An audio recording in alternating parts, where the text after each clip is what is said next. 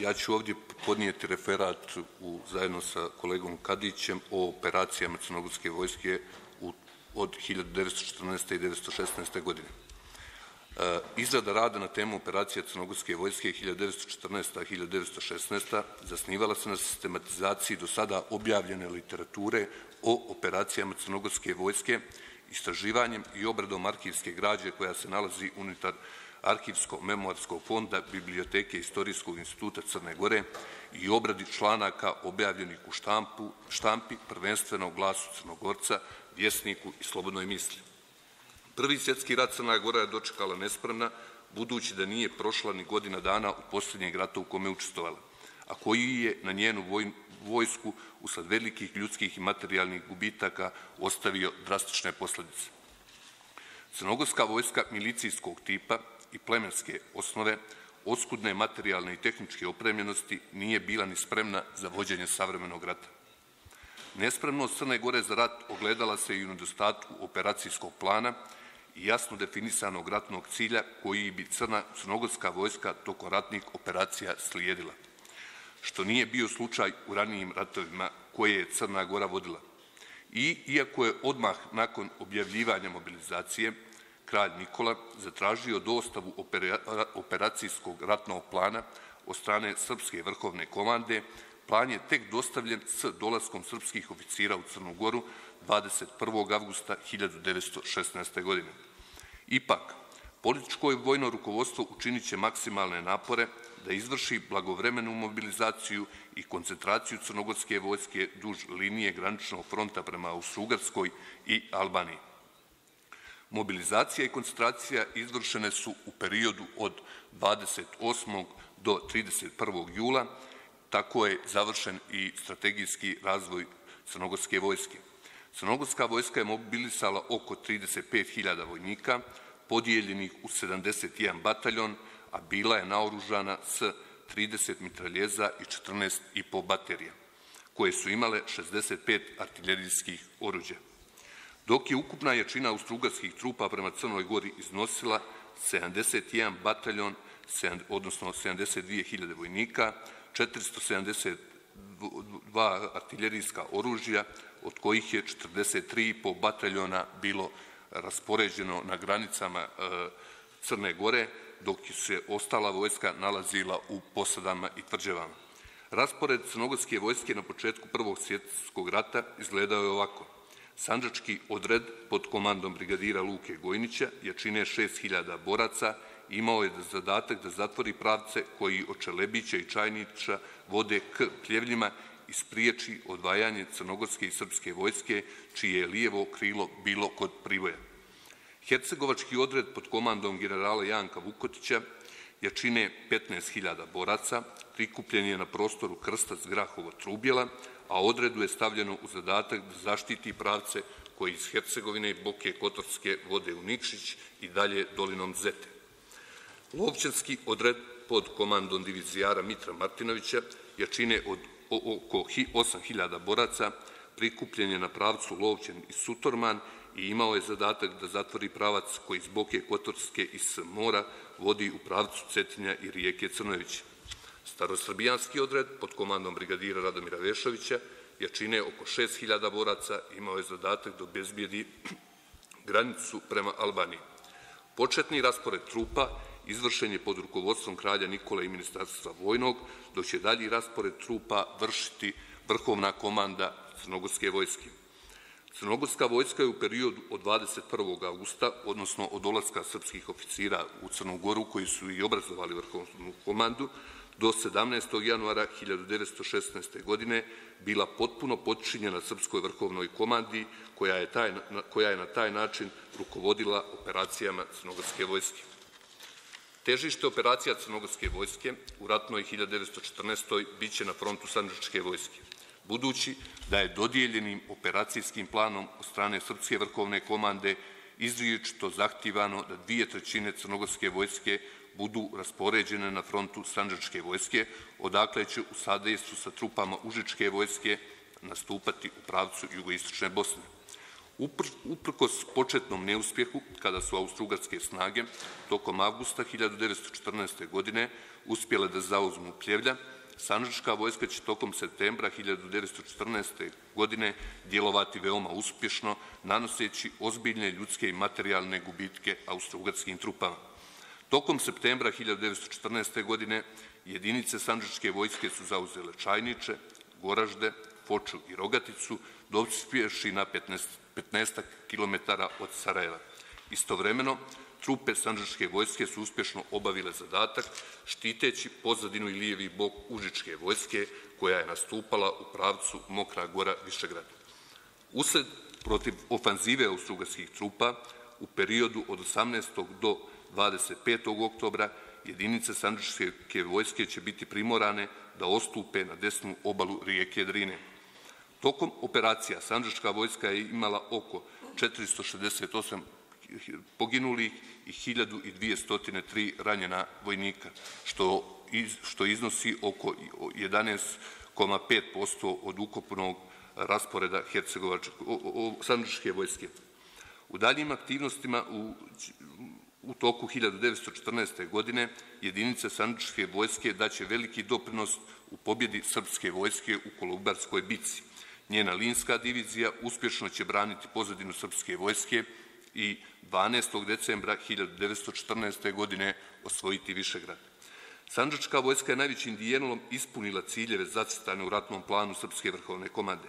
Na ostalim frontovima između Austro-Ugarske i Crne Gore, Lovćenskom i Hercegovačkom, uglavnom će se voziti pozicioni rat između crnogorskih i austro-ugarskih trupa.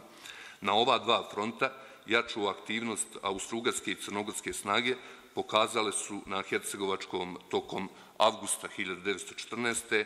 a na e, Lovćenskom tokom oktobra 1914. godine. Jedinice Hercegovačkog odreda će uspješno su obavile zadatak zaustavljajući austro-ugarske jedinice u području Grahova, čiji je prvenstveni cilj bio prodiranje u pravcu Nikšića i dalje dolinom Zete. Austro-ugarske trupe izuzev manjih upada nijesu se duže zadržavale na crnogorskoj teritoriji brojčana i tehnička nadmoćnost austrougarskih jedinica utvrđenih u Bileći i u Bileći i Trebinju nisu dozvoljavale šire operacijske zahvate crnogorske vojske. Na području Lovćinskog odreda u toku 1914. dolazilo je do periodične razmjene vatre između crnogorskih i austrugarskih snaga.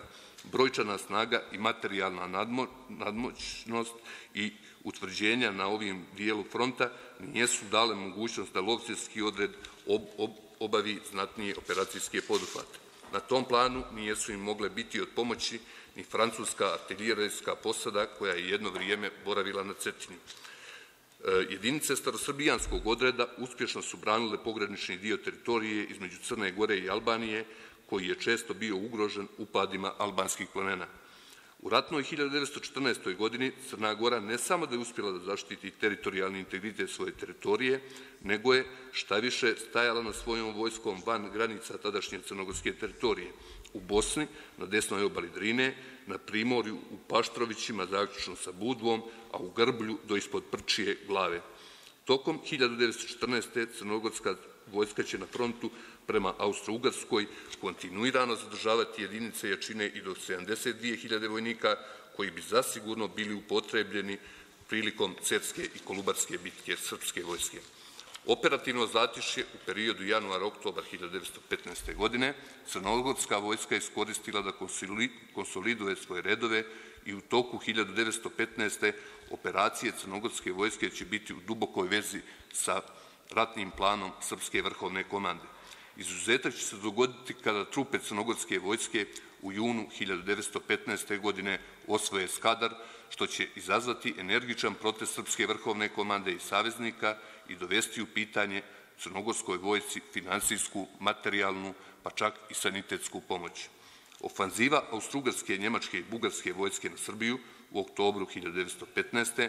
je značila početak novih intenzivnih operacija Crnogorske vojske koja je oskudijelovala u materijalnim potrebama, ali je borbeni moral njenih trupa bio na visokom nivou. Do kraja 1915. godine Sanđačka vojska je bila najaktivniji dio crnogorskih trupa. Iako prinuđena da proširi svoj front od Ušća Lima do Javora, ona je od 22. oktobra do sredine novembra velikim požrtvovanjem i zalaganjem u borbama kod Višegrada i Javora usporila napredovanje Austrougarske vojske u pravcu Sanđaka, čime je štitila lijevi bok i pozadinu srpske vojske, koja se postepeno povlačila prema Kosovu. Odlukom Srpske vrhovne komande da se najveći dio srpskih trupa povuče kroz Crnu Goru, Crnogorskoj vojci je do kraja novembra dodijeljena uloga strategijske zaštitnice srpske vojske. Potpomognuta je jedno vrijeme od strane srpske armije, Sanđaška vojska imala zadatak da brani pravce Peć i Andrijevica i Mojkovac Kolaše Matešovo i time omogući iscrpljenoj srpskoj vojci da se putem Peć, Andrijevica, Podgorica, Skadar domogne albanske obale. Najintenzivnije borbe vođene su na području između Lima i Tare, zbog jakog otpora jedinica Sandičke vojske, a u Sugarske su trupe tek sredinom decembra stigle na desnu obalu Tare. Izvinite. Zbog jakog otpora jedinice Sandičke vojske, Sugarske trupe su stigle na desnu obalu, da, da bi u žestokim borbama od 17. do 23 decembra bile onemogućene da se preko Mojkovca probiju u pravcu Mateševa. Tako je Sanđaška vojska tokom decembra uspješno izvršila svoj zadatak i usujetila namjeru neprijatelja da ugrozi povlačenje srpske vojske. Zbog nepostojanja adekvatnih uslova da je iz područja Sanđaka i Metohije nastavio ofanzivu protiv srpske i crnogorske vojske, Austrougarska vrhovna komanda je tokom decembra izradila plan po kome je trebalo izvršiti opšti napad na Crnu Goru, pri čemu je težište operacija premješteno na Lovćinski front sa ciljem da se osvoji Lovćen koji je predstavljao značajan oslovac za dalje operacije austrougarskih trupa u Crnoj Gori i Albaniji, u kojoj se u njenim primorskim oblastima oko Skadra i Drača nalazila srpska vojska. Od dva glavna pravca koji iz Boke Kotorske vode preko Lovćena na Cetinje, Boka Kotorska Krstac Njeguši i Boka Kotorska Kuk, vrhovna komanda Austro-Ugarske vojske odlučila da glavni napad usmjeri prema Kuku, čim bi se lijeve strane obuhvatila crnogorske trupe na Krscu, dok bi napadom iz pravca Vališta Krsac bio obuhvaćen i sa desne strane, nakon čega bi bila onemogućena njegova odbrana. Pred opšti napad crnogorska vojska imala gotovo četiri puta manji broj vojnika, kao i šestorostruko inferiorniju artiljeriju u strane neprijatelja. Početkom januara 1916. na Balkanu je bila izuzetno nepovoljna situacija za sile Atante i njene saveznice Crnu Goru i Srbiju. Engleska i francuske divizije su nalazile u Solunu, a iscrpljena srpska vojska je nakon povlačenja bila u rajonima Skadra i Drača, dok su italijanske trupe u rajonima Valone i Drača bile neaktivne u ukazivanju pomoći srpskoj i crnogorskoj vojsci. U takvoj situaciji jedino racionalno rešenje za crnogorsku vojsku je bilo njeno postepeno povlačenje prema Skadru i dalje ka albanskoj obali. Međutim, crnogorska komanda je svojim naredbama zahtijevala da crnogorske trupe pruže jak otpor neprijatelju na graničnim frontovima, što je, ako uzmemo u obzir odnos austrougarskih i crnogorskih snaga, vodilo ka sigurnom slomu crnogorske vojske. Takođe, Crnogorska vrhovna komanda je na pravcu glavnog udara Austrougarske vojske rasporedila najmanji broj vojnika u odnosu na Hercegovački i Sanđački front, dok je svojim naredbama u toku opšteg napada na Crnu Goru zahtijevala povlačenje trupa Lovćenskog odreda ka unutrašnjosti, zanemarujući time izuzetan pravac, bitan pravac prema skradu, čim je osvajanjem su Austrougari presekli ostupnicu Crnogorskoj vojci. U ovim okolnostima nas, nastavak uspješne borbe Sanđačke vojske i velika pobjeda kod Mojkovca 6. i 7. januara u suštini nisu poboljšali položaj crnogorske vojske. Brojna i materijalna superiornost neprijatelja, oskudica u hranu i oružju crnogorskih trupa, nesposobnost komadanta Petra, Pet, kneza Petra Petrovića, neaktivnost crnogorske vrhovne komande i loša koordinacija komandanata Lovćenskog i Kotorskog odreda doprinijeli su neuspjesima u odbrani Lovćena, pri čemu je značajno opao borbeni moral vojske koja je sve manje poštovala autoritet svojih komadanata, što je slabilo operativnu moć vojnih odreda. Austrugari su već 9. januara zauzeli značajne položajne odbrane na liniji za odbranu Lovćena Kuk i Solar, 10. januara ovladali Štirovnikom, dok je posljednja linija odbrane Lovćena Jezerski vrh presjeka Trštenik morala biti napuštena od strane crnogorske vojske 12. januara, nakon čega su austrougarske trupe 13. januara osvojile Cetinje. Na Hercegovačkom frontu neprijateljska vojska je bila prodrla do Grahova. Zbog teške situacije u kojoj se, se nalazila crnogorska vojska, započeti su 11. Januari, januara pregovori o primirju kao i mogućnosti sklapanja mira. Pošto su uslovi koje je ponudila Austro-Ugarska bili teški, kralj Nikola je 19. januara otputovao za Skadar, a zatim za Medovu i dalje za Italiju.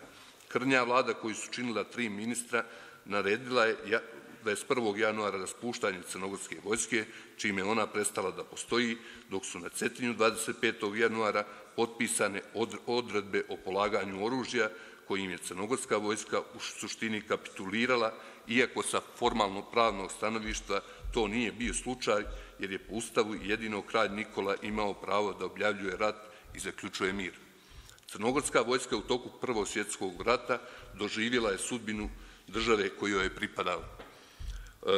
Vjerno služeći sa saveznicima, ona je ispunila savezničke zahtjeve, ali nije ispunila njenu glavnu ulogu odbranu crnogorske teritorije.